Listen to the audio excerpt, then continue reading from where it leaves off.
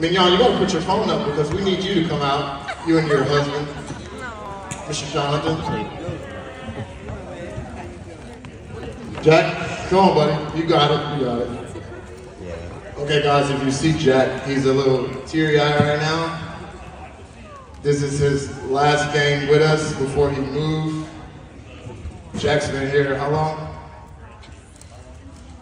Since kindergarten. So, and I think Jack's played football and basketball, and his whole career he gave it his all. Am I right, Jack? So let's give it up for Jack, please. Go ahead and the pick.